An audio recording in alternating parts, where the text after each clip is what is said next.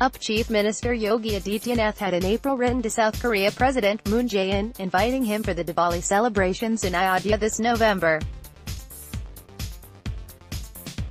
construction of the Queen Huh Memorial Park in Ayodhya, in the memory of a princess of Ayodhya who according to legend had traveled to Korea and married the king of a province there in AD 48, could finally begin in about three months from now, before a likely visit of a high-level South Korean delegation for the Diwali festival in the temple town.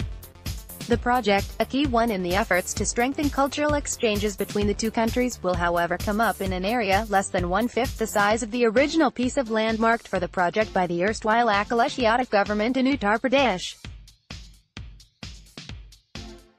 This was decided after a study by the Korean government showed that flood waters from the Sarayu River could inundate most of the original site area of 55,765 square meters once in five years. The new site of about 10,000 square MTS behind the upcoming Ramkatha Museum is located away from the river.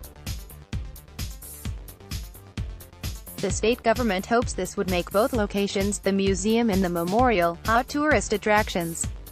The Korean side has seen the new location and approved it. We are awaiting designs from the Korean side by July. Construction will begin in three months. Sports and Tourism of the Republic of Korea is coordinating with the UP government for the project. It is believed that in 48 AD, the princess had traveled to the Korean province of Gimhae where the king, Kim Suro, married her and made her the principal queen. There, she was known as Queen Hwang-ok. King Kim Suro and the queen founded the Karak clan.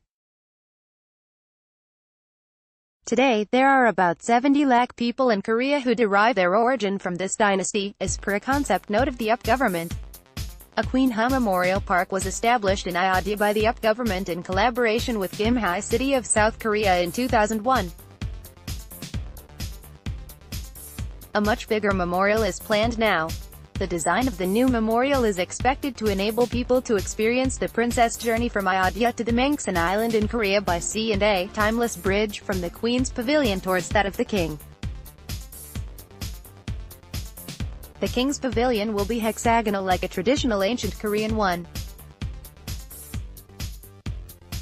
Chief Minister Yogi Adityanath had in April written to South Korea President Moon Jae-in, inviting him for the Diwali celebrations in Ayodhya this November.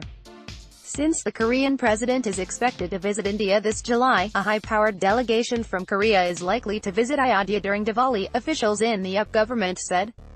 Commenting feature is disabled in your country, region.